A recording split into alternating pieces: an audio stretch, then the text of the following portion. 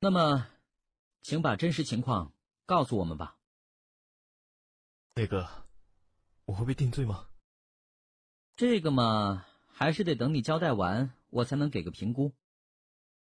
我只是不希望小石他过着与我一样的童年，所以才主动去接近和认识他。起初我也单纯想陪伴他一下，因为我完全明白他最需要的是什么。因为小时他对火车也很有兴趣，很快我们成为了很好的朋友。我对能为他的快乐付出点帮助感到很开心。可是，对于这小朋友，他最渴望的东西，始终不是这些。是的，他最希望的只是父母能回到自己的身边，陪伴着他成长。所以，你就心生一计，打算策划这种绑架事件，希望把男孩的父母吓回来吗？嗯，听你说，男孩父母正在赶回来。我知道，无论事情发展成怎样，我已经完成我的任务了。你的这个行为和小石沟通过吗？没有，我只是问他要不要去我那边玩。不论他父母最终有没有赶回来，我都会送他回去。抵狡辩啊，李晨！你浪费咗我哋咁多警力，你使定个八月十五等坐监啦！别那么没人情味了，大叔。哈，你而家改名叫做大叔？对啊，因为十二点过了。李晨，既然已经识穿咗你嘅把戏，呢场戏你唔使再做啦。话俾我听，小石究竟喺边度？我我不知道。咩话？我明明叮嘱他不要乱跑，就待在这里做功课和休息。我晚一点会回来接他，但我刚才回来的时候，他却不见了。你个小子，你究竟玩乜嘢？慢着，大叔，别这样。李纯，我见过桌上有小石的笔记本，这很奇怪。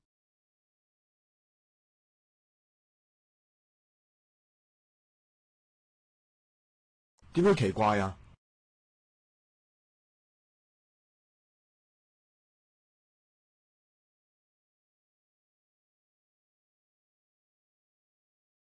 去公园玩的小朋友，为什么会带笔记本？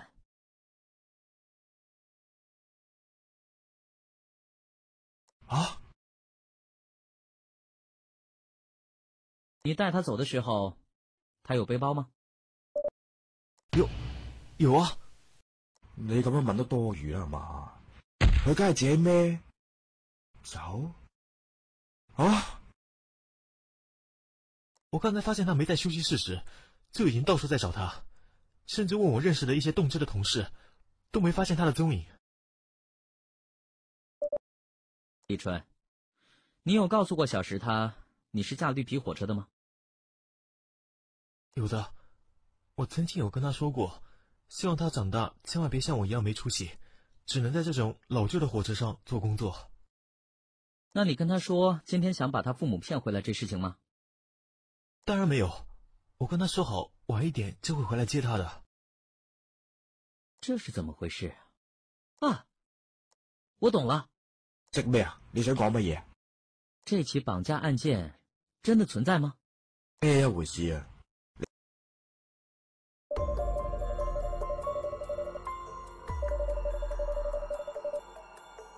要解决这件案子，先要把石兵的所在地找出来。这宗案件究竟谁才是真正的策划人？石兵真正的失踪原因究竟是什么？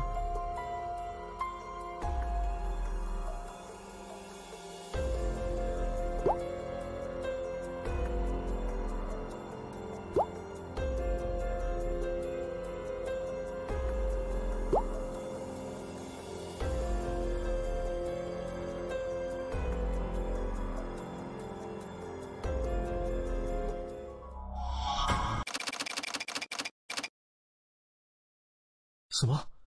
松田，我想你替我去联络一下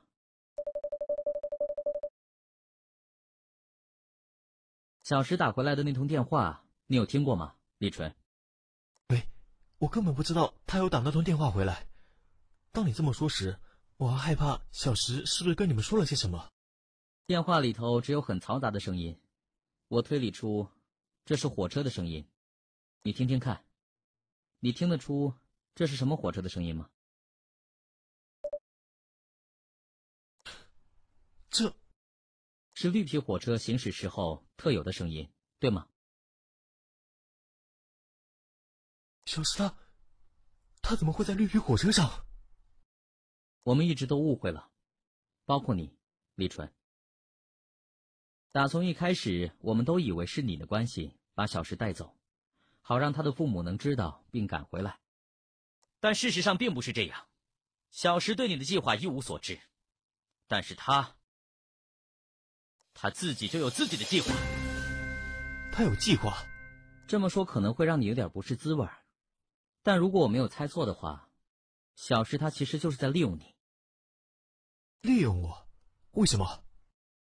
因为他知道你是驾火车的，而且他也知道，只要登上你的火车，也许他就可以去见他的父母。实际上，到达你的休息室后，小石他真的找到了机会，因为你休息室的侧门可以直通月台，直接登车。那为什么是绿皮火车？为什么不是选更快更好的动车？很简单呀，因为在他的眼里，你所在的火车才是真正能远行的火车呀。哎，在你的角度，可能认为绿皮火车已经渐渐被淘汰，在这上面工作也得不到重视。但在小石的角度，他一点也没有这么想，他喜欢的就是这种车，并且也因为你的关系，更喜欢这样的火车。一辆能带他寻找梦想、寻找他父母的火车。队长，我联络上了，在二十一型列车上，果真找到一个穿着一只鞋子的小朋友。真的吗？太好了！小诗他居然，虽然只有十岁，但敢利用他的好朋友，还只穿一只鞋子穿州过省，某种程度上说也是爆发力惊人，不是吗？警官，对不起，闹出这么大的事情。是我的错，别急着认错，先解决问题。咩错咩？如果唔系你呢个僆仔多管闲事，个细路又点会？我以为我说的很清楚呢。小石他自己才是绑架自己的人，这案子中李纯只是被他利用的工具，那他又有什么罪呢？喂，你而家咪想包庇佢先？哈哈哈，我也有能照人的一天呐，可以吗，大叔？唉，唉，我懒得理，多一事不如少一事，反正都唔会加我人工。这是交给你个任务，请你带着鞋子把小石他接回来吧，告诉他他并不孤单，他要找的理想不在别处，就在这里。这，然后我想告诉你，你的职业很了不起，你看。不是有人坐你的车去寻找梦想了吗？真的，是这样吗？我是打心底里尊敬你，李纯先生。我还有最后一个问题，你怎么会这么清楚我的想法？因为就如同你看到小石，想到了过去的自己。我看到你的日记，也想到了一些事情。莫非你也？不管是什么身份背景，人总该有自己的梦想。和该做的事情，不是吗？人都不是圣人，难免顾此失彼。你看，我想通后就是现在这样的乐天派。谢，谢谢你。好了，事情完结了吧？我可以走了吧？小林队长，怎么了？叫的这么好听？才没有啦！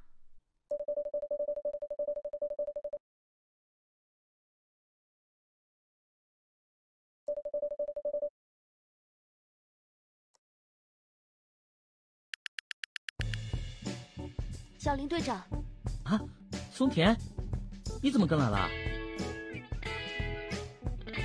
我觉得我还是得向你好好答谢。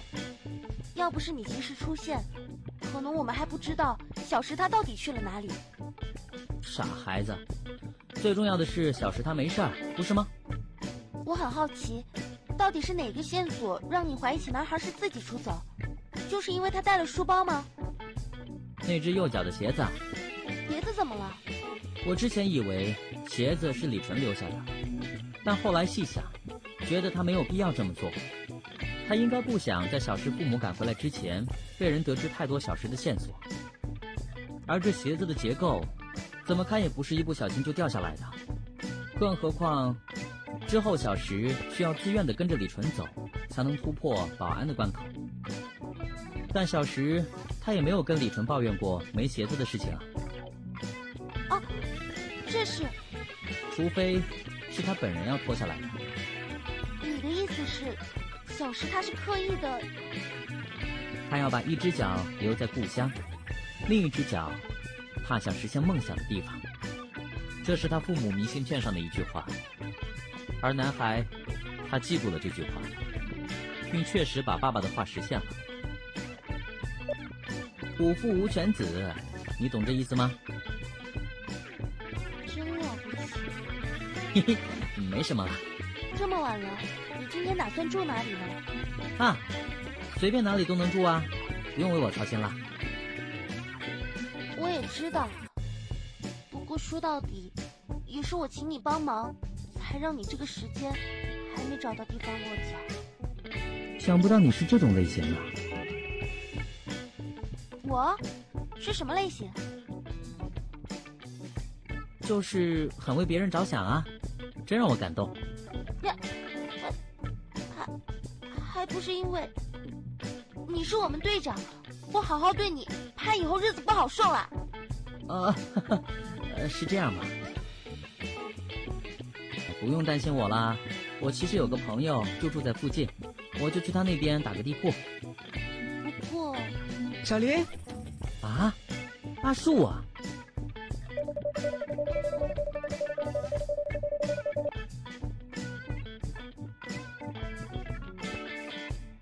你来接我。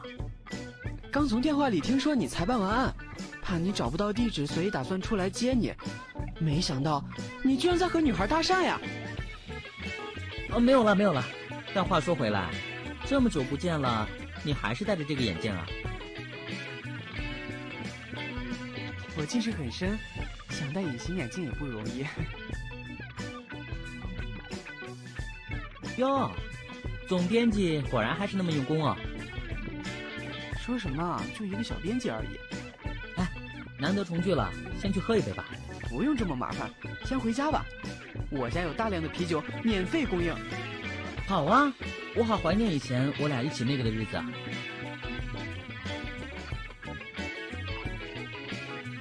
那个，嘿嘿嘿，嘿嘿嘿，不好意思打断，不过你们俩这么恶心的对话，我还没有认识。这位是你的女朋友吗？当当，哎，你小心啊，她很凶的。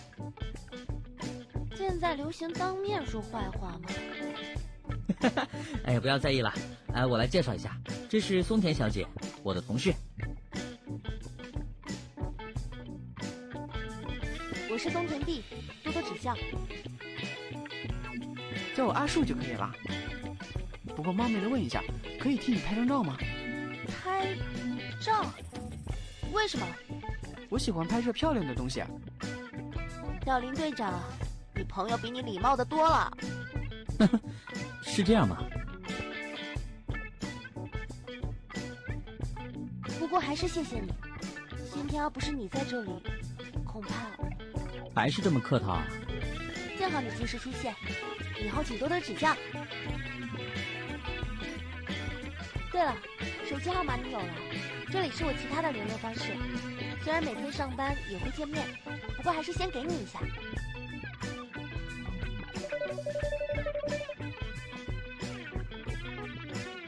真羡慕啊，有美女主动跟你要联络方式。哎，要我告诉你她三维吗？